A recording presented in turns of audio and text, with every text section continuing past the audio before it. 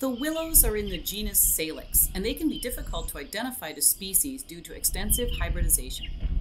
Willows are shrubs or trees, typical of moist sites and floodplains, and many species can disperse and reproduce asexually by fragmentation, when fallen branches, sometimes carried downstream, will readily sprout roots into the ground.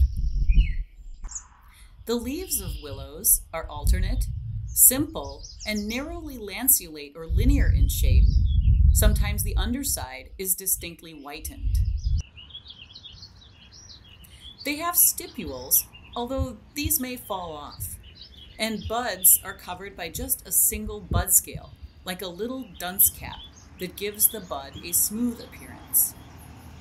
The buds are held closely appressed to the stems.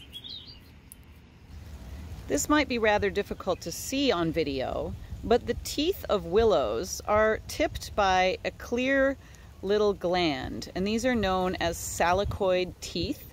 It helps a lot to have a hand lens, but you can kind of see here on the tips these little light spots on the tips of the teeth, and those are the salicoid teeth typical of salix. Willows are dioecious, with male and female catkins produced on separate plants. The male catkins have fine fuzzy hairs. Think of pussy willows.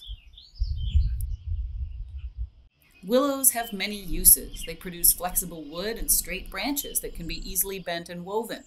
They're planted for erosion control, land reclamation, and as a bioenergy crop.